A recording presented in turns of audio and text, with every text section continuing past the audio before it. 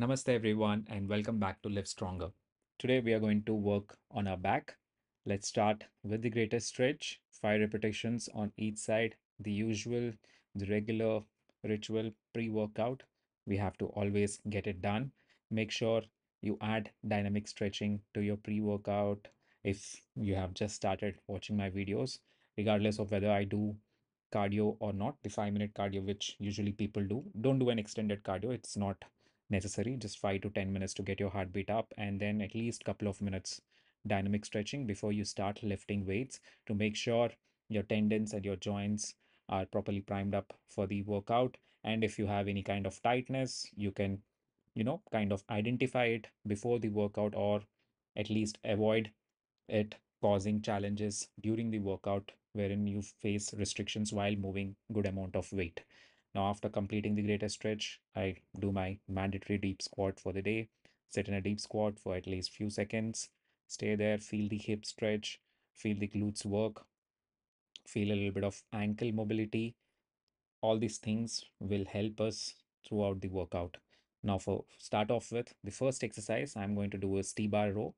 I've done three sets, 20 repetitions to start off with. And then once I'm done with 20 repetitions, I slightly stand up slightly, not really much, get my upper traps and mid traps more involved and move the weight using them. Right now, I'm using my lats to move the weight. And then after 20 repetitions, I use my mid trap region to move the weight.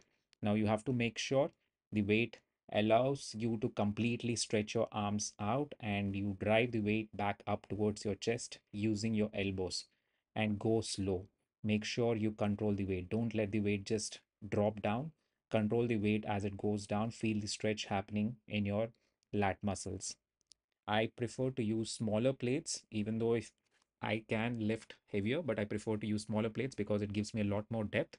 But if you want to have bigger plates and in your gym there are no small plates, all the plates are the big ones, you can always use a step up box under your feet to give you a little bit more depth while doing the exercise. So you can place, even if the step up box is not available, you can have couple of plates under your feet to give you a little more, more depth while doing the row. If you have a T-bar equipment or the machine in your gym, that's well and good. You can use that to do the exercise. Now, after completing T-bar rows, I moved on to my lower back extensions. I prefer doing it on an inclined bench because somehow I feel a little bit more connection on my lower back and glutes. I don't feel much of uh, I would say uncomfortable otherwise using a regular extension machine. So I prefer to do it this way. You can also try this particular setup. I just increase the increment of a bench by one level and then lay on the incline with my legs completely hanging out. And from there, I try to extend my back as straight as possible, not overextend, just get into a straight line. Here you can see I also added a little bit of resistance. So I tried using a dumbbell, but I was not able to balance it. But the resistance band did the job. I just put a resistance band, tied it up with the bench and just pushed it forward. I was watching myself doing the exercise just to make sure that I'm not overextending my back. I'm just trying to get in a straight posture while pushing my legs up using my glutes and also a little bit of my hip strength to get the lower back you know completely contract and extend now make sure you go very slow and steady about the exercise. You don't want to just, you know, push your legs extremely hard because you won't be able to control the motion. Then it'll affect, it'll do more harm than good to your lower back. For my next exercise, I'm going to do cable rows, three sets, 15 plus pause repetitions, wherein we pile up another 20 repetitions you in 5 5 rep interval.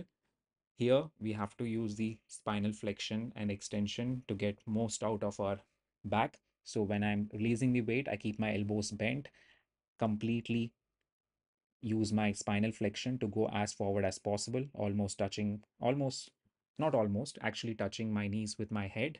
And then let the weight stretch my lats out. And from there, I pull it back while keeping my elbows in a fixed bent position. So I never let my elbows completely extend or tighten up. So my bicep involvement is very less.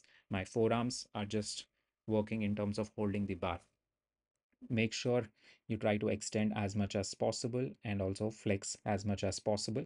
As you can see, every repetitions I drive my elbows as far behind as possible so that the rod almost comes and touches my abdomen and that's where it stops. So there is no more space for my elbows to go behind. Now, if you're doing a single hand row, yes, you can turn a little bit, get more work done. Either ways, it's your preference. If you don't prefer, you can do using a single hand and it'll give you a little bit more range of motion. I mix it up once in a while. I do single hand, once in a while, I use both my hands. Just make sure you get those three sets with 15 repetitions. Now for my next exercise, I have chosen to do a superset because I realized my workouts were getting a little bit lengthy.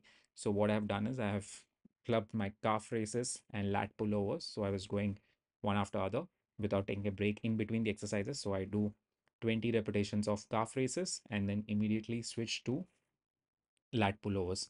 Now for calf raises, it's your choice. You can go with standing calf raises, you can go with seated calf raises, you can go with the leg press calf raises, you can do the donkey calf raises, whichever you choose to do.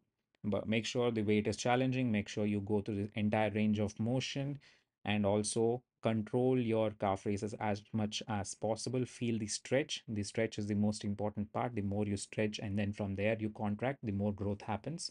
So that's how you have to approach it. Once I'm done with the calf raises, I immediately sh shifted to lat pullovers on the cable machine. It's pretty easy exercise to set it up. Just put an incline bench in front of a cable machine and with your elbows slightly bent, not completely straight, not bent, slightly bent so that you know your triceps are not doing the majority of pushing down motion and we are not in fact you will feel a little bit of activation of your triceps thanks to the way they are connected where they are you know there's insertion points of your lat muscle in your triceps. You will feel a little bit of tricep contraction but not much. So use your lats. Drive with your elbows again. So you're trying to drive with your elbows all the way down using your lats the weight down and touch your legs as much as possible. As you can see come down all the way get the maximum contraction and then stretch out maximum. After completing those i moved on to shrugs using a smith machine. Now smith machine because i was tired and i was using straps to just ensure that i get all my reps out as much as possible. 12 to 15 repetitions with a good challenging amount of weight. We don't want to you know go less weight more repetitions. We just want to finish off at a high.